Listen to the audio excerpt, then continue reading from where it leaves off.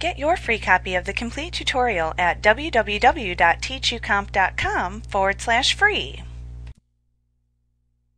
You can add and delete whole columns and whole rows to your tables if needed. Remember that Word will automatically create new rows at the bottom of a table when you press the Tab key and your mouse is in the lower right corner cell of the table. However, you may also need to alter the column structure to add or remove columns. You may also need to delete rows that you have previously entered. When deleting rows, you should remove the entire row and not just simply clear the contents of the cells within that row. Leaving a blank row of data in the middle of a table can lead to issues with sorting and counting within the row. So in this lesson, we will examine how to insert and delete columns and rows in a table. Let's look at the process used to delete columns and rows. To delete a column or a row, you must first select the column or row that you wish to delete.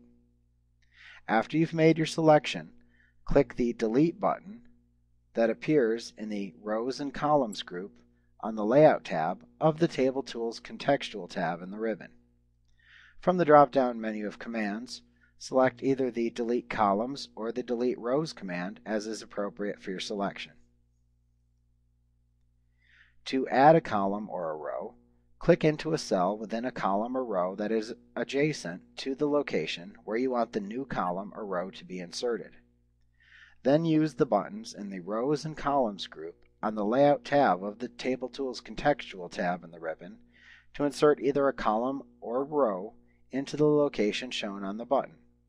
Insert above, insert below, insert left, or insert right.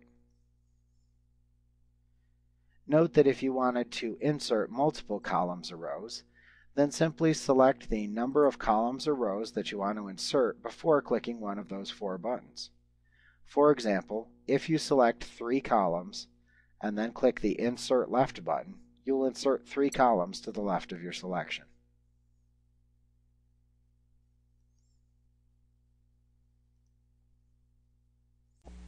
Like what you see? Pick up your free copy of the complete tutorial at www.teachucomp.com forward slash free.